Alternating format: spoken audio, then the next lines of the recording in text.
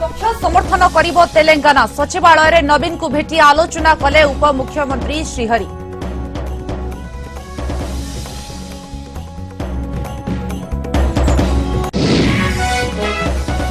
ଥମୁନି ଚାଷୀ ଆତ୍ମହତ୍ୟା। ଫସଲ ନଷ୍ଟ ଓ ଋଣ ଭାରରୁ ପ୍ରାଣ ହାରିଲେ ବରଗଡ଼ ଲିମ୍ର ଟିକ୍ରାର ଦେବାନନ୍ଦ। ଶବ ରଖି କଂଗ୍ରେସ ଓ ବିଜେପିର ଧାରଣା। ଉପଜିଲ୍ଲାପାଳଙ୍କ ପ୍ରତିଶ୍ରୁତି ପରେ ହଟିଲା ଆନ୍ଦୋଳନ।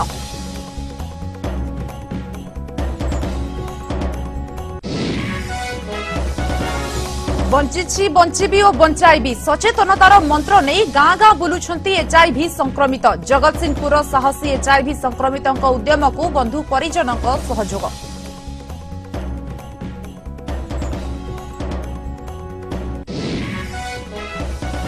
ହିନ୍ଦୁସ୍ତାନ ଟାଇମ୍ସ ଲିଡରସିପ୍ ସମିଟ୍ରେ ରିଲାଏନ୍ସ ଅଧ୍ୟକ୍ଷ ମୁକେଶ ଅମ୍ବାନୀଙ୍କ ଉଦ୍ବୋଧନ। କହିଲେ ସୁନୀଲ ମିତ୍ତଲ ତାଙ୍କର ପ୍ରତିଦ୍ୱନ୍ଦ୍ୱୀ ନୁହନ୍ତି ଜଣେ ଭଲ ବନ୍ଧୁ।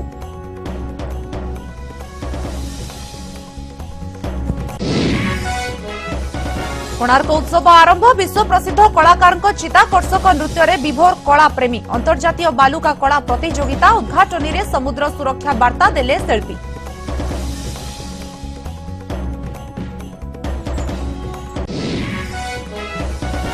ଏବଂ ପବିତ୍ର ବ୍ୟଞ୍ଜନ ଦ୍ୱାଦଶୀ ଶ୍ରୀମନ୍ଦିରରେ ରାଧାକୃଷ୍ଣଙ୍କୁ ଲାଗି ହେଲା ସୁସ୍ୱାଦୁ ବ୍ୟଞ୍ଜନ। ଗୌର ବିହାରରେ ଛଅଶହ ପଚାଶ ପ୍ରକାରର ବ୍ୟଞ୍ଜନ ପସରା ଉତ୍ସବ ମୁଖର ଗୌଡୀୟ ମଠ।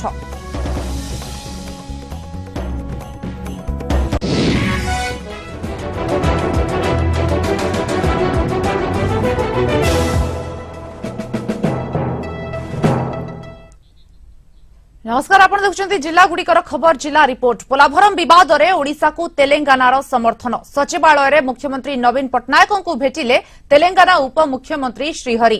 ଦୁଇ ନେତାଙ୍କ ଭିତରେ ପୋଲାଭରମ ପ୍ରସଙ୍ଗରେ ଦୀର୍ଘ ସମୟ ଧରି ଆଲୋଚନା ହୋଇଛି। ତେଲେଙ୍ଗାନା ଉପମୁଖ୍ୟମନ୍ତ୍ରୀ କହିଛନ୍ତି ପୋଲାଭରମ ପ୍ରକଳ୍ପରେ ଓଡ଼ିଶାର ଆଭିମୁଖ୍ୟକୁ ତାଙ୍କ ରାଜ୍ୟ ସମର୍ଥନ କରିବ। ଏ ପ୍ରକଳ୍ପ ବନ୍ଦ କରିବା ଦରକାର ବୋଲି କହିଛନ୍ତି ଉପମୁଖ୍ୟମନ୍ତ୍ରୀ।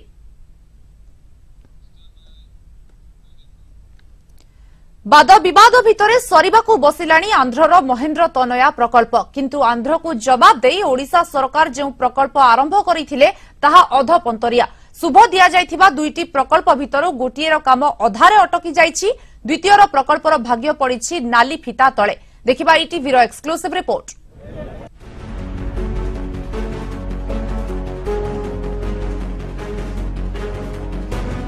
ଇଏ ହେଉଛି ଗଜପତି ଜିଲ୍ଲା ରାୟଗଡ଼ ବ୍ଲକ ଡମ୍ବାପୁରଠାରେ ମହେନ୍ଦ୍ର ତନୟା ନଦୀ ଉପରେ ନିର୍ମାଣାଧୀନ ବୃହତ୍ ସେଚ ପ୍ରକଳ୍ପ ଦୁଇହଜାର ଆଠ ଏପ୍ରିଲରେ ଯେତେବେଳେ ଆନ୍ଧ୍ର ସରକାର ନଦୀର ତଳମୁଣ୍ଡ ଚାପରାଠାରେ ଅଫସୋର ପ୍ରକଳ୍ପ ପାଇଁ ଯୋଜନା କଲେ ସେହି ମାସ ତିରିଶ ତାରିଖରେ ତରବରିଆ ଭାବେ ଓଡ଼ିଶା ସରକାର ନଦୀ ଉପରମୁଣ୍ଡ ଡମ୍ବାପୁରରେ ସେଚ ପ୍ରକଳ୍ପର ଭିତ୍ତି ପକାଇଲେ ଆନ୍ଧ୍ରକୁ ମିଳିଲା ମୁହଁତୋଡ଼ ଜବାବ ଏକ ସମୟରେ ଆରମ୍ଭ ହୋଇଥିବା ଦୁଇ ରାଜ୍ୟର ଦୁଇଟି ପ୍ରକଳ୍ପର ବାସ୍ତବ ସ୍ଥିତି କ'ଣ ଦେଖନ୍ତୁ? କୋଡ଼ିଏ କୋଟି ଟଙ୍କା ଖର୍ଚ୍ଚ ପରେ ବି ଡମ୍ବାପୁର ପ୍ରୋଜେକ୍ଟ କାମ ତିରିଶ ଭାଗ ସରିନି କିନ୍ତୁ ଚାପରା ଅଫସୋର ପ୍ରୋଜେକ୍ଟ ବା ରେଗୁଲୁପାଡୁ ଡ୍ୟାମ୍ କାମ ସରି ଆସିଲାଣି ପ୍ରାୟ ନବେ ପ୍ରତିଶତ। ଆନ୍ଧ୍ରପ୍ରଦେଶକୁ କାଉଣ୍ଟର କରି ମାନ୍ୟବର ମୁଖ୍ୟମନ୍ତ୍ରୀ ଭଲ ପଦକ୍ଷେପ ନେଇଥିଲେ। ଆମେ ଖୁସି ଲାଗିଥିଲା ଯେ ଆମର ଅଞ୍ଚଳରେ ଗୋଟେ ପ୍ରକଳ୍ପ ହବ। ଦୁଇ ହଜାର ଆଠ ମସିହାରେ ଡମ୍ବାପୁର ପ୍ରକଳ୍ପ ନାଁରେ ଶୁଭାରମ୍ଭ କରିଥିଲେ। କିନ୍ତୁ ଆଜିକୁ ଦୁଇ ହଜାର ସତର ସରି ଅଠର ଆରମ୍ଭ ହେଲାଣି। ପ୍ରକଳ୍ପ ଅଧରାପନ୍ତରେ ହେଇକି ଅଛି। ବର୍ତ୍ତମାନ ସେ କାମ ଗୁଡ଼ାକ ଯୋଉଟା ଆମେ ଦେଖୁଛୁ ଆମର ଯୋଉ ରାୟଗଡ଼ା ଡୁମାପୁର ତ ମିଶିଛି ଆମେ ଦେଖିଲା ବେଳକୁ କାମ ଯୋଉ ବର୍ଷେ ଭିତରେ ହେବାର ସମ୍ଭାବନା କହିଥିଲା ମୁଖ୍ୟମନ୍ତ୍ରୀ ତଥାପି ଆଜି ଆଠ ନଅ ବର୍ଷ ହେଲା କାମଟା ବିଲକୁଲ ହେଇନି। ଅଧା କାମ ମଧ୍ୟ ହେଇନି। ଆମେ ଯାହା ଦେଖୁଛୁ ଏଇ କାମ ଗୁଡ଼ାକ ସବୁ ଯାକ ନିମ୍ନମାନର କାମ ଗୁଡ଼ାକ ଚାଲିଛି ରେଗୁଲୁପାଡୁ ଡ୍ୟାମ୍ କାର୍ଯ୍ୟକ୍ଷମ ହେଲେ ଶୁଖିଯିବ ଗଜପତି ଜିଲ୍ଲାର ଅନେକ ଗାଁ ଗଣ୍ଡା। ଶୋଷ ମେଣ୍ଟିବନି କି ଜମିକୁ ମିଳିବନି ପାଣି। ଦୁଇ ହଜାର ଆଠରେ ଏକଥା ଅନୁଭବ କରି ତତ୍କାଳୀନ ବିଧାୟକ ଭରତ ପାଇକ ଓ ସ୍ୱର୍ଗତ ବିଧାୟକ ତ୍ରିନାଥ ସାହୁ ବିଧାନସଭାରେ ଧାରଣା ଦେଇଥିଲେ। ଯାହାର ପରିଣାମରେ ସରକାର ତରବରିଆ ଭାବେ ଡମ୍ବାପୁର ଓ ଚମ୍ପାପୁର ପ୍ରକଳ୍ପର ଶୁଭ ଦେଲେ। କିନ୍ତୁ ନଅ ବର୍ଷ ପରେ ଡମ୍ବାପୁର ପ୍ରକଳ୍ପ ଅଧାରେ ତ ଚମ୍ପାପୁର ପ୍ରୋଜେକ୍ଟର ଫାଇଲ ହିଁ ଖୋଲି ନାହିଁ। ପ୍ରକୃତରେ କାମଟା ଆରମ୍ଭ କରିଥିଲେ ଏଗାର ମସିହାରେ ଆରମ୍ଭ କଲେ। କିନ୍ତୁ ଏଗାର ମସିହାରୁ ଆଜି ସତର ମସିହା ହେଇଗଲା। ସେ ଆଠ ଏ ନଅ ବର୍ଷ ନଅ ବର୍ଷ ମିଶିକି ନଅ ବର୍ଷ ହେଲା ଏ ବର୍ତ୍ତମାନ ପର୍ଯ୍ୟନ୍ତ ତାର ହେଡ଼ୱାର୍କ ମଧ୍ୟ ସରିନି। ଚମ୍ପାପୁର କାମ ଅସଲ ମୂଳରୁ ଆରମ୍ଭ କା ହେଇନି। ସମାନ ସମୟରେ ଉଭୟ ରାଜ୍ୟର ମୁଖ୍ୟମନ୍ତ୍ରୀ ନିଜ ନିଜର ପ୍ରକଳ୍ପ ଶୁଭ ଦେଲେ। ଆନ୍ଧ୍ର ପ୍ରକଳ୍ପ ଦୁଇ ହଜାର ଅଠର ଜୁନ୍ ସୁଦ୍ଧା ନିଜର କାର୍ଯ୍ୟ ସାରିବା ପାଇଁ କାମ ଚଲାଇଥିବା ବେଳେ ଅପରପକ୍ଷରେ ଓଡ଼ିଶାର ଦୁଇଟି ପ୍ରକଳ୍ପ ମଧ୍ୟରୁ ଗୋଟିଏ ପ୍ରକଳ୍ପ କାର୍ଯ୍ୟ ଆରମ୍ଭ କରି ତା ଅଧାରେ ବନ୍ଦ ପଡ଼ିଛି। ଏନେଇ ବିଭାଗୀୟ ଅଧିକାରୀଙ୍କ ସହ ଯୋଗାଯୋଗ କଲେ ମୁହଁ ଖୋଲିବା ପାଇଁ ନାରାଜ। ଏହିପରି ପରିସ୍ଥିତିରେ ଗଜପତି ଜିଲ୍ଲାଙ୍କର ଚାଷୀଙ୍କର ଅବସ୍ଥା କ'ଣ ଯେ ହେବ ଏଠାରେ ଏକ ପ୍ରଶ୍ନବାଚୀ ସୃଷ୍ଟି ହେଉଛି। ଗଜପତିରୁ ବାସୁଦେବ ଦାସ ଇଟିଭି ନ୍ୟୁଜ୍। ବରଗଡ଼ ଜିଲ୍ଲାରେ ପୁଣି ଚାଷୀ ଆତ୍ମହତ୍ୟା ଚକଡ଼ା ପୋକ ଲାଗି ଫସଲ ନଷ୍ଟ ହେବାରୁ ଭେଡେନ୍ ବ୍ଲକର ଚାଷୀ ଦେବାନନ୍ଦ ବିଷ ଖାଇ ଆତ୍ମହତ୍ୟା କରିଥିବା ପରିବାର ଲୋକେ ଅଭିଯୋଗ କରିଛନ୍ତି। ପ୍ରାୟ ତିନି ଏକର ଜମିରେ ଧାନ ଚାଷ କରିବା ପାଇଁ ଦେବାନନ୍ଦ ପ୍ରାୟ ଅଶୀ ହଜାର ଟଙ୍କା ହାତ ଉଧାରି ଆଣିଥିଲେ। କିନ୍ତୁ ଚକଡ଼ା ପୋକ ଲାଗି ସମ୍ପୂର୍ଣ୍ଣ ନଷ୍ଟ ହୋଇଯାଇଥିଲା ଫସଲ। ଋଣ ସାଙ୍ଗକୁ ସାତ ପ୍ରାଣୀ କୁଟୁମ୍ବ ପୋଷିବା ବୋଝରେ ମାନସିକ ଭାରସାମ୍ୟ ହରାଇ ଗତକାଲି ବିଷ ପିଇଥିଲେ ଦେବାନନ୍ଦ। ଗତ ରାତିରେ ଜିଲ୍ଲା ମୁଖ୍ୟ ଚିକିତ୍ସାଳୟରେ ତାଙ୍କର ମୃତ୍ୟୁ ହୋଇଛି। କ୍ଷତିପୂରଣ ଦାବିରେ ଆନ୍ଦୋଳନରେ ବସିଥିଲେ ସ୍ଥାନୀୟ ଲୋକେ। ମୃତ ଚାଷୀଙ୍କ ପରିବାରକୁ ଦଶ ହଜାର ଟଙ୍କା ସହାୟତା ସହ ବିଜୁ ପକ୍କା ଘର ଏବଂ ପରିବାରର ଜଣକୁ ଠିକା ଭିତ୍ତିକ ନିଯୁକ୍ତି ଦିଆଯିବ ବୋଲି ପ୍ରତିଶ୍ରୁତି ଦେଇଛନ୍ତି। ଜିଲ୍ଲାପାଳଙ୍କ ନିର୍ଦ୍ଦେଶ ପରେ ମୃତ ଚାଷୀଙ୍କ ଗାଁକୁ ଯାଇ ତଦନ୍ତ କରିବେ ତହସିଲଦାର ବିଡିଓ ଏବଂ କୃଷି ଅଧିକାରୀ।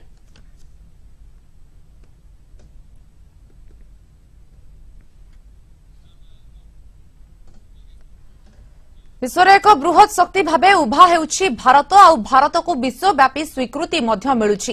ଅର୍ଥନୀତିରେ ଚୀନ ଏବଂ ଆମେରିକାକୁ ପଛରେ ପକାଇବ ଭାରତ। ନୂଆଦିଲ୍ଲୀରେ ଆୟୋଜିତ ହିନ୍ଦୁସ୍ତାନ ଟାଇମ୍ସ ଲିଡରସିପ୍ ସମିଟ୍ର ଶେଷ ଦିନରେ ସାମିଲ ହୋଇ ଏହା କହିଛନ୍ତି ରିଲାଏନ୍ସ ଇଣ୍ଡଷ୍ଟ୍ରିଜ୍ ଲିମିଟେଡ୍ ଅଧ୍ୟକ୍ଷ ମୁକେଶ ଅମ୍ବାନୀ। ଏଥିସହ ନିଜ ବ୍ୟବସାୟ ସମ୍ପର୍କରେ ମଧ୍ୟ ସାମ୍ବାଦିକଙ୍କ ପ୍ରଶ୍ନର ଉତ୍ତର ଦେଇଛନ୍ତି। টেলিকম ব্যবসায়ে তাঁর প্রতিদ্বন্দ্বী সুনীল ভারতী মিত্তলু মতকু নেই পচরা যাই প্রশ্নর উত্তরে সে কিন্তু সুনীল মিত্তল তাঁর জনে ভালো বন্ধু তাঁর প্রতিদ্বন্দ্বী নুহতি Sunil is a good friend of mine. He's not a rival. right? A so, business rival. Uh, I, I, I, don't think of uh, businesses sure. in terms yeah. of. Uh, the second piece is I think that, again, uh, what he said and what I think you are interpreting is, is different. But just to make my point of view clear, I think that for all of us within industry, right, uh, profits and losses are risks that we take. And I don't think that we can rely on regulators or governments to guarantee our profits or losses. To me, what is most important is uh, do we really move the country forward and does the consumer gain? And I think that the question as a journalist that you should be thinking about is that even if there are profits and losses, who gains and who loses? And as long as the consumer gains and the country moves forward, it's uh, worth taking those losses, right? Some of us are big boys, we can afford that. ମାରାତ୍ମକ ଏଡ୍ସର ଶିକାର ହେଉଛି ମଣିଷ। ଦୁର୍ବିସହ ପାଲଟି ଯାଉଛି ଜୀବନ। ତେବେ ସମାଜରେ ଏଡ୍ସକୁ ନେଇଥିବା ମନୋଭାବ ଏବେ ବଦଳିଛି ବଦଳିଛି ଲୋକଙ୍କ ମାନସିକତା। ପୀଡ଼ିତ ନିଜେ ବଞ୍ଚି ଦେଖାଇ ପାରୁଛି ବଞ୍ଚିବାର ରାହ ଏବଂ ସାହସ।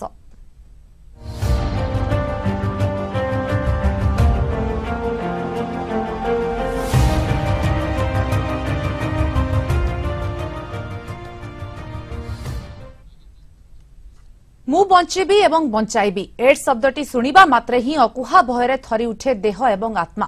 ସମାଜରେ ଏମିତି କିଛି ସାହସୀ ବ୍ୟକ୍ତି ଅଛନ୍ତି ଯିଏ ଏହି ମାରାତ୍ମକ ରୋଗକୁ ଡରି ଯାଇନାହାନ୍ତି। ତାଙ୍କର ଏହି ସାହସିକ ଲଢ଼େଇରେ ସହଯୋଗ କରିଛନ୍ତି ପରିବାର ବନ୍ଧୁ ଏବଂ ସାହି ପଡ଼ିଶା। ସମୟ ସହ ତାଳ ଦେଇ ବଦଳିଛି ସାମ୍ପ୍ରତିକ ମଣିଷ। ପୂର୍ବ ଭଳି ଏଡ୍ ସଂକ୍ରମିତଙ୍କୁ ମିଳୁନି ସାମାଜିକ ତିରସ୍କାର ସେମାନଙ୍କୁ ହତାଦର କରୁନାହାନ୍ତି ସମ୍ପର୍କୀୟ ଓ ସାହି ପଡ଼ିଶା। ପ୍ରକୃତ ଜୀବନରେ ବି ଏମିତି କରି ଦେଖାଇଛନ୍ତି ଜଗତସିଂହପୁର ସଦର ଜଙ୍କଟି ଗ୍ରାମବାସୀ। ମାରାତ୍ମକ ଏଡ୍ସରେ ସ୍ୱାମୀ ଚାଲି ଯାଇଛନ୍ତି ଆରପାରିକୁ ଏଚ୍ଆଇଭି ସଂକ୍ରମିତ ବହୁ ଅଞ୍ଜାଙ୍କୁ ଶାଶୁଘର ଲୋକ ପର କରିଦେଲେ। ହେଲେ ଝିଅକୁ ଆଦରି ନେଇଛନ୍ତି ବାପ ଘର ଲୋକେ ଓ ସାହି ପଡ଼ିଶା। ଜୀବନ ପଥରେ ଆଗେଇବା ସହ ଏହି ମାରାତ୍ମକ ସଂକ୍ରମଣ ବିରୋଧରେ ଗାଁ ଗାଁ ବୁଲି କରୁଛନ୍ତି ସଚେତନ। ଚାଇବି ଆସିବା ଭିତରେ ସେଠୁ ସେତେବେଳେ ବ୍ରହ୍ମପୁରୀ ଔଷଧ ଦିଆଯାଉଥିଲା ସେତେବେଳକୁ ଦେବା ଭିତରେ ଯୋଗାଯୋଗ କରିବା ଭିତରେ ଆଙ୍କ ଯେଉଁ ଚାଲିଗଲେ ଚାଲିଗଲେ ଝିଅ ହେଇଥିଲା ଦି ବର୍ଷର ଝିଅ ଦି ବର୍ଷର ହେଲେ ସେମାନେ ଶାଶୁଘର ଟିକେ ଚଳିବାକୁ ମତେ ମନା କଲେ ହଇରାଣ କଲେ। ମୋର ପରୀକ୍ଷା ହେଲା ବେଳେ ମୋର ବି ଆସିଲା ଆଉ ଝିଅର ଭଲ ଅଛି। ରୋଗ ହେଇକି ବି ମୁଁ ବଞ୍ଚି ପାରୁଛି ରହିପାରୁଛି ଚଳିପାରୁଛି ରହିପାରୁଛି ସେମାନେ ବି ଭଲ ମୋ ଠାରୁ ସେ ବି ଆହୁରି ରହିପାରିବେ। ଅଞ୍ଜନାଙ୍କ ଭଳି ଜଗବନ୍ଧୁ ଓ ସରିତା ବି ଏଚ୍ଆଇଭି ସଂକ୍ରମିତ। ବର୍ଷ ବର୍ଷ ଧରି ଏହି ସଂକ୍ରମଣକୁ ହରାଇ ଚାଲିଛନ୍ତି ସେ। ନିଜ ଅନୁଭୂତିରୁ ହିଁ ଏବେ ସେ ପାଲଟିଛନ୍ତି ନିର୍ଭୀକ ସ୍ୱେଚ୍ଛାସେବୀ। ଏଡ୍ସ ଓ ଏଚ୍ଆଇଭି ସଂକ୍ରମଣ ମଧ୍ୟରେ ଥିବା ପାର୍ଥକ୍ୟ ସମ୍ପର୍କରେ କରୁଛନ୍ତି ସାମାଜିକ ସଚେତନତା। ଏଚ୍ ଆଇ ଭି ଆଉ ଏଡ୍ସ ଇଏ ହେଉଛି ଅଲଗା ଅଲଗା ଜିନିଷ। ଏଚ୍ ଆଇ ଭି ହେଉଛି ଅବସ୍ଥା ଏଡ୍ସ ହେଉଛି କେତେଟା ରୋଗର ସମଷ୍ଟି। ଯାହାକି ମାନେ ଜ୍ୱର ହେଲା ଭଲ ହେବ ନାହିଁ। ମାନେ ଯେ ପ୍ରତଃ ଝାଡ଼ା ହେଲା ଭଲ ହେବ ନାହିଁ ଦେହର ହେଲ୍ଥ କମିବ ଏଇ ପ୍ରକାର ହେଉଛି ବର୍ତ୍ତମାନ ସମାଜରେ ବହୁ ଲୋକଙ୍କୁ ଆମେ ଦେଉଛୁ ମେଡ଼ିସିନ ଖାଇବା ଦ୍ୱାରା ବହୁତ ଦିନ ସେମାନେ ବଞ୍ଚି ରହିବେ ଆଉ ଏଇଟା ଗୋଟେ ଭୂତାଣୁ ଜନ୍ମିତ ଅଟେ ଏହା ଡିଆଁ ରୋଗ ନୁହେଁ ସିଏ ସେମିତି ଏତେ ସେ ଏତେ ଆକ୍ଟିଭ ଅଛି କିନ୍ତୁ ସମସ୍ତଙ୍କ ମିଳିମିଶି ଚଳୁଛି ଏ, କିଛି ନାହିଁ। ତାର ଏ ଏଡ୍ସ ବୋଲି ସମସ୍ତେ ପ୍ରଥମ ଘୃଣା କରୁଥିଲେ। ଏ ସମସ୍ତେ ଏବେ ତା ସାଙ୍ଗେ ମିଳିମିଶି ଚଳିଲେଣି ସେ ବି ଆମ ସାଙ୍ଗେ ମିଳିମିଶି ଚଳୁଛି। ସିଏ ଆମର ଡେସ୍ଲା ମେମ୍ବର ଅଛି। ସିଏ ମୋତେ ସୋ ମୋଟର ସ୍ପୋକ୍ସ ମାନେ କହୁଛି ଆସି ନିଜ ସେପଟେ। ମୁଁ ଏମିତି ନିଜ ଅସୁବିଧା ଥିଲି ବର୍ତ୍ତମାନ ଭଲ ଅଛି। ଏୟାରଟି ଖାଉଛି ମୁଁ ସୁସ୍ଥ ଅଛି ଭଲ ଅଛି ମୋ ଅସୁବିଧା କିଛି ନାହିଁ। ରେଗୁଲାର ଟ୍ରିଟମେଣ୍ଟ ଅଛି ପ୍ରୋବ୍ଲେମ୍ ମୋର କିଛି ମୋ ଫ୍ୟାମିଲି ରହୁଛି। ନିଜେ ଭଲ ଅଛି ଅନ୍ୟମାନେ ମ୍ୟାରେଜ ମେସେଜ ଦେଉଛି। ଯେ ସମସ୍ତେ ମଧ୍ୟ ଯିଏ ବାହାରିଲେ ମଧ୍ୟ କିଛି ଖାଇ ଔଷଧ ଖାଇ ନିୟମିତ ରହିଲେ କିଛି ଅସୁବିଧା ଆକାର ହେବ ନାହିଁ। ରୋଗୀକୁ ନୁହେଁ ରୋଗ ଓ ସଂକ୍ରମଣକୁ ଘୃଣା କରନ୍ତୁ। ଏହି ବାର୍ତ୍ତା ସହ ଜୀବନର ପ୍ରତ୍ୟେକ ମୁହୂର୍ତ୍ତକୁ ବଞ୍ଚୁଛନ୍ତି ଏହି ସାହସୀ ମଣିଷ। ତେବେ ଏହି ସଂକ୍ରମିତଙ୍କ ପାଇଁ ସରକାରୀ ସ୍ତରରେ କିଛି ଯୋଜନା କରାଗଲେ ସେମାନେ ଅଧିକ ଉପକୃତ ହୋଇପାରନ୍ତି ବୋଲି ମତ ପ୍ରକାଶ ପାଇଛି। ଜଗତସିଂହପୁରରୁ ପିନାକୀ ମହାନ୍ତି ଇଟିଭି ନ୍ୟୁଜ୍।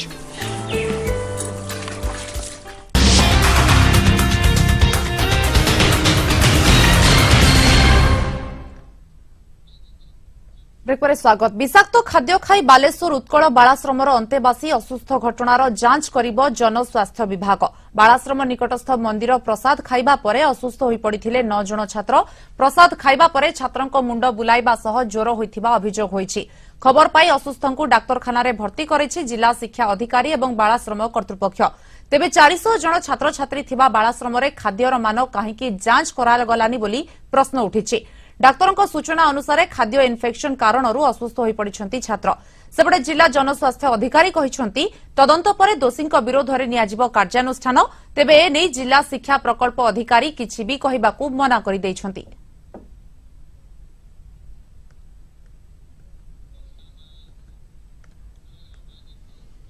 କୋଣାର୍କରେ ଆରମ୍ଭ ହୋଇଛି କୋଣାର୍କ ମହୋତ୍ସବ। ବର୍ଣ୍ଣାଢ୍ୟ ସାଂସ୍କୃତିକ ଉତ୍ସବରେ ଅଂଶଗ୍ରହଣ କରିଛନ୍ତି ଦେଶ ବିଦେଶର ବହୁ ପ୍ରତିଷ୍ଠିତ କଳାକାର।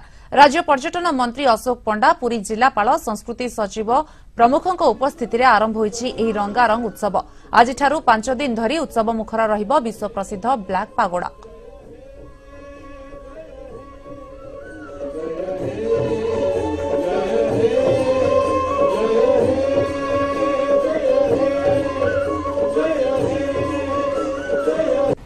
ନିଶ୍ଚିତ ପ୍ରତିବର୍ଷ ଭଳି ଏଥର ମଧ୍ୟ ଆନ୍ତର୍ଜାତିକ ବାଲୁକା କଳା ଶିବିର ଏଠି ଆୟୋଜିତ ହେଇଛି ପାଖାପାଖି ଏକଚାଳିଶ ଷ୍ଟଲ୍। କୋଣାର୍କ ନୃତ୍ୟ ଉତ୍ସବ ସମୟରେ ଏ କାର୍ଯ୍ୟକ୍ରମଟି ହେଉଛି ତେଣୁ ଅନେକ ପର୍ଯ୍ୟଟକ ମଧ୍ୟ ଏଠାକୁ ଆସି ଏହାର ମଜା ଉଠାଉଛନ୍ତି ଏବଂ ଯେଉଁ ଥିମ୍ ଗୁଡ଼ିକ ରହିଛି ଆପଣ ଦେଖନ୍ତୁ ସମୁଦ୍ରକୁ ସମୁଦ୍ରର ସୁରକ୍ଷା ଏବଂ ସମୁଦ୍ରରେ ଯେମିତି ବର୍ଜ୍ୟବସ୍ତୁ ନ ରହେ ଇଏ ନ ରହେ ସେହାକୁ ନେଇକି ଅଧିକାଂଶ ଥିମ୍ ହେଇଛି। ପରିବେଶ ସନ୍ତୁଳନ ଓ କ୍ଲାଇମେଟ୍ ଚେଞ୍ଜକୁ ନେଇ ମଧ୍ୟ କରାଯାଇଛି। ଏପଟେ ଚନ୍ଦ୍ରଭାଗାରେ ଉଦ୍ଘାଟିତ ହୋଇଯାଇଛି ଅନ୍ତର୍ଜାତୀୟ ବାଲୁକା କଳା ଉତ୍ସବ। ଏଥିରେ ଏକଚାଳିଶଟି ଦେଶ ବିଦେଶର କଳାକାରମାନେ ଯୋଗ ଦେଇଛନ୍ତି। ପ୍ରଥମ ଦିନରେ କଳାକାରମାନେ ସମୁଦ୍ର ସୁରକ୍ଷା ସହିତ ସାମୁଦ୍ରିକ ଜୀବଜନ୍ତୁଙ୍କ ସୁରକ୍ଷା ନିମନ୍ତେ ବାଲୁକା କଳା ପ୍ରଦର୍ଶିତ ହୋଇଥିଲା। ସେପଟେ ବାଲୁକା କଳା ଦେଖିବାକୁ ଦର୍ଶକଙ୍କ ମଧ୍ୟରେ ବେଶ୍ ଉତ୍ସାହ ଦେଖିବାକୁ ମିଳିଛି।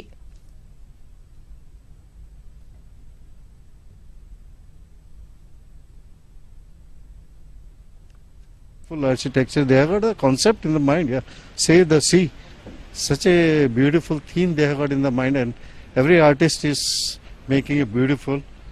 और एक का देखा तो वो इंडस्ट्री में से निकल रहा है गंदा पानी आ रहा है बाहर आ रहा है क्या मतलब डिफरेंट डिफरेंट थीम्स जो लेके आए हैं आर्किटेक्चर से डेवलप किया हुआ है और इसे रियली वर्थ अप्रिशिएटिंग आज जो थीम है सेव द सी କୁ କେମିତି ଆମେ ପ୍ରୋଟେକ୍ଟ କରିପାରିବୁ କାଇଁ- ଆଉ ଆନିମଲ୍ସ ଗୁଡ଼ାକ ଦେଖେଇଛୁ ଆ, ଆମେ ଆମେ ଭାବୁଛୁ ଆମେ ଖାଇବିକି ଆମେ ଏନ୍ଜୟ କରିଦେଉଛେ ବଟ୍ ସେମାନଙ୍କୁ ଆମେ ଯେଉଁ ଡଷ୍ଟ ସିରେ ଫୋପାଡ଼ି ଦେଉଛେ ସେଗୁଡ଼ା ପଲିଥିନ୍ ବଗେରା ପ୍ଲାଷ୍ଟିକ୍ ସେଗୁଡ଼ା ସବୁ ସିରେ ଗଲା ପରେ ସେଗୁଡ଼ାକ ଆନିମଲ୍ସ ମାନଙ୍କ ପାଇଁ ହାର୍ମ ହେଉଛି ଶ୍ରୀମନ୍ଦିରରେ ମହାଲକ୍ଷ୍ମୀଙ୍କ ମନ୍ଦିରର ସୁନା ଗହଣାର ଆକଳନ ସରିଛି। ଶ୍ରୀମନ୍ଦିର ମୁଖ୍ୟ ପ୍ରଶାସକଙ୍କ ନିର୍ଦ୍ଦେଶରେ ଗଠିତ ଆଠ ଜଣିଆ ଟିମ୍ ଲକ୍ଷ୍ମୀଙ୍କ ଭଣ୍ଡାର ଖୋଲି ଆକଳନ କରିଛନ୍ତି।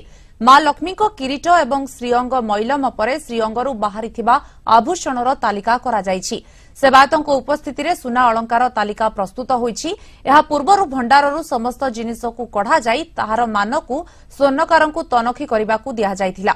কেতে সুনা এবং কেতে রূপা রয়েছে সে সবুর হিসাব করা যাইছি কেতে দান মিলিছি এবং কিয়ে দাতা, সে সবুর হিসাব করেছি টিম এই রিপোর্ট প্রস্তুত করে শ্রীমন্দির নীতি প্রশাসকঙ্কু দিয়ে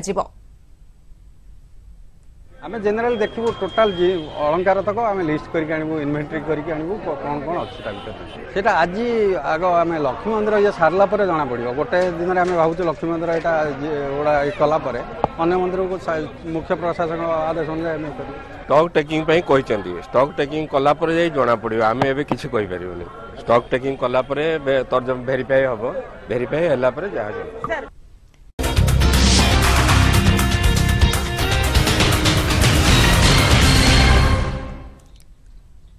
ହିନ୍ଦୁ ପରମ୍ପରାରେ ବାର ମାସରେ ତେର ପର୍ବ। ସେଥିମଧ୍ୟରୁ ଅନ୍ୟତମ ବ୍ୟଞ୍ଜନ ଦ୍ୱାଦଶୀ। ମାର୍ଗଶିର ଶୁକ୍ଳପକ୍ଷ ଦ୍ୱାଦଶୀ ତିଥିରେ ଶ୍ରୀମନ୍ଦିରରେ ଅନୁଷ୍ଠିତ ହୋଇଛି ବ୍ୟଞ୍ଜନ ଦ୍ୱାଦଶୀ।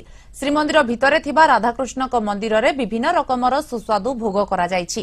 ଏହାସହ ଆଜିର ବିଶେଷ ତିଥିରେ ଗୌଡ଼ୀୟ ଏବଂ ବୈଷ୍ଣବ ସମ୍ପ୍ରଦାୟ ମଠଗୁଡ଼ିକରେ ସ୍ୱାଦିଷ୍ଟ ବ୍ୟଞ୍ଜନ କରାଯାଇ ରାଧାକୃଷ୍ଣଙ୍କୁ ଭୋଗ ଲାଗି ହୋଇଛି।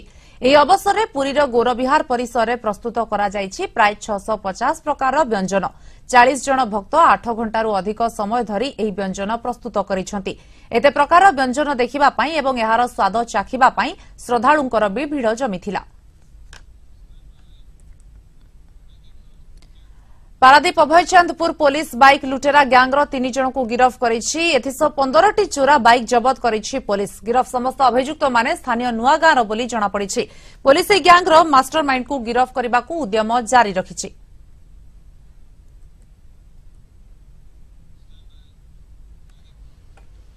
ବାରିପଦା ସଦର ବ୍ଲକ ଶଙ୍ଖାଭଙ୍ଗା ସ୍କୁଲରେ ଠାକୁରାଣୀ ଆତଙ୍କ ଅସୁସ୍ଥ ହେବାରୁ ହସ୍ପିଟାଲରେ ଚିକିତ୍ସିତ ହେଉଛନ୍ତି ଦଶ ଛାତ୍ରୀ। ଆଜି ସକାଳ ପ୍ରାୟ ଦଶଟା ବେଳେ ସ୍କୁଲର ନବମ ଏବଂ ଦଶମ ଶ୍ରେଣୀର ପରୀକ୍ଷା ହେବାର ଥିଲା କିନ୍ତୁ ହଠାତ୍ ଛାତ୍ରୀ ନିବାସର ଅନ୍ତେବାସୀଙ୍କୁ ଠାକୁରାଣୀ ଲାଗିଥିବା କହିଥିଲେ ସ୍କୁଲର କିଛି ଛାତ୍ରୀ। ଯାହାକୁ ନେଇ ଛାତ୍ରୀ ଏବଂ ଅଭିଭାବକଙ୍କ ମଧ୍ୟରେ ଆତଙ୍କ ଖେଳିଯାଇଥିଲା। ଖବର ପାଇ ପ୍ରଧାନ ଶିକ୍ଷକ ସମସ୍ତ ଅସୁସ୍ଥ ଛାତ୍ରୀଙ୍କୁ ରଘୁନାଥ ମୁର୍ମୁ ମେଡିକାଲକୁ ନେଇଥିଲେ। ଚିକିତ୍ସା ପରେ ସମସ୍ତେ ଛାତ୍ରୀ ନିବାସକୁ ଫେରିବେ ବୋଲି କହିଛନ୍ତି ପ୍ରଧାନ ଶିକ୍ଷକ। ପିଲାର ଦେହଟା ଅସୁସ୍ଥ ଥିଲା। ସେ ସେ ଦାସୀ ପଡ଼ିଗଲା ବୋଲି ପିଲାମାନେ ମୋତେ କହିଲେ। ତାପରେ ମୁଁ ସେଟାକୁ ବୁଝାବୁଝି କରିକି ଆସିକି ଅଫିସରେ ପହଞ୍ଚିଛି। ତାପରେ ସଡେନଲି ତାପରେ ସାତ ଆଠଟା ପିଲାକୁ ଦାସୀ ଲାଗିଲା ବୋଲି ପିଲାମାନେ ମୋତେ ଜଣାଇଲେ। ତାପରେ ପିଲାମାନଙ୍କୁ ମୁଁ ଯଥାଶୀଘ୍ର ହସ୍ପିଟାଲରେ ପହଞ୍ଚି ଟ୍ରିଟମେଣ୍ଟ କରିବାର ବ୍ୟବସ୍ଥା କଲି। ସାଲାଇନ୍ ଦେଲା ପରେ ଠିକ୍ ହେଇଯିବ ବୋଲି ଭାବୁଛି। ସେମିତି ଭୂତ ପ୍ରେତ କିମ୍ବା ଡା- ଠାକୁରାଣୀର ବିଶ୍ୱାସଟା ମୁଁ କରେ ନାହିଁ। ଏବେ ରାଜ୍ୟର ଆଉ କିଛି ଖବର ଦେଖିନେବା ସଂକ୍ଷେପରେ।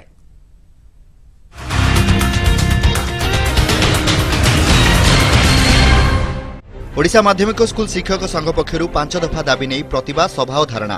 ଛଅଶହ ଅଣଚାଶ ବିଦ୍ୟାଳୟକୁ ପୂର୍ଣ୍ଣ ଅନୁଦାନ ଦାବି ଓ ବ୍ଲକ ଗ୍ରାଣ୍ଟ ଶିକ୍ଷକଙ୍କୁ ସତ୍ୟପାଠ ଦାଖଲ ନିର୍ଦ୍ଦେଶ ପ୍ରତ୍ୟାହାର ଆଦି ଦାବି କରି ଧାରଣା ଦେଇଥିଲେ। ରାଜ୍ୟ ସରକାର ଏ ସମ୍ପର୍କରେ କିଛି ପଦକ୍ଷେପ ଗ୍ରହଣ ନ କଲେ ଆଗକୁ ଜୋରଦାର ବିକ୍ଷୋଭ ପାଇଁ ଚେତାବନୀ ଦିଆଯାଇଛି। ଠିକା କର୍ମଚାରୀଙ୍କୁ ସ୍ଥାୟୀ ନିଯୁକ୍ତି ଦାବି କରି ଆନ୍ଦୋଳନ। ରାୟଗଡ଼ା ଜଳ ବିଭାଜିକା କାର୍ଯ୍ୟାଳୟ ସମ୍ମୁଖରେ ତିନି ଦିନ ଧରି ଆନ୍ଦୋଳନରେ ବସିଛନ୍ତି। ରାଜ୍ୟବ୍ୟାପୀ ଜିଲ୍ଲା ସ୍ତରରେ ଚାଲିଥିବା ଏହି ଆନ୍ଦୋଳନରତ କର୍ମଚାରୀଙ୍କ ଦାବି ପୂରଣ ନ ହେଲେ ଆନ୍ଦୋଳନକୁ ତୀବ୍ର କରାଯିବ ବୋଲି ଚେତାବନୀ ଦେଇଛି ସଂଘ। ରାୟଗଡ଼ା ଜିଲ୍ଲା ମୁଖ୍ୟ ଚିକିତ୍ସାଳୟରେ ଅନୁଷ୍ଠିତ ହୋଇଯାଇଛି ବିଶ୍ୱ ଏଡ୍ସ ଦିବସ ଏଡ୍ସର କାରଣ ନିରାକରଣ ସମ୍ପର୍କିତ ଏକ କ୍ଷୁଦ୍ର ନାଟକ ପ୍ରଦର୍ଶିତ ହୋଇଯାଇଛି। କାର୍ଯ୍ୟକ୍ରମ ଶେଷରେ ଏଡ୍ସ ସଚେତନତା ଓ ନିରାକରଣ କ୍ଷେତ୍ରରେ କାର୍ଯ୍ୟରତ ଡାକ୍ତର ସ୍ୱେଚ୍ଛାସେବୀ ଓ ବିଭିନ୍ନ ପ୍ରତିଯୋଗିତାରେ କୃତି ଛାତ୍ରଛାତ୍ରୀଙ୍କୁ ପୁରସ୍କୃତ କରାଯାଇଛି। ଦେବଗଡ଼ ଇନ୍ଦିରା ଗାନ୍ଧୀ ଷ୍ଟାଡିୟମରେ ଉଦ୍ଯାପିତ ହୋଇଯାଇଛି ଚାରିଦିନିଆ ତେଇଶତମ ରାଜ୍ୟସ୍ତରୀୟ ଯୁବ ମହୋତ୍ସବ। ଅଠରଟି ପ୍ରତିଯୋଗିତାରେ କୃତି ପ୍ରତିଯୋଗୀଙ୍କୁ ପୁରସ୍କାର ପ୍ରଦାନ କରାଯାଇଛି। ଏହି କୃତି ପ୍ରତିଯୋଗୀ ଜାତୀୟ ସ୍ତରରେ ହେବାକୁ ଥିବା ଯୁବ ମହୋତ୍ସବରେ ଅଂଶଗ୍ରହଣ କରିବେ।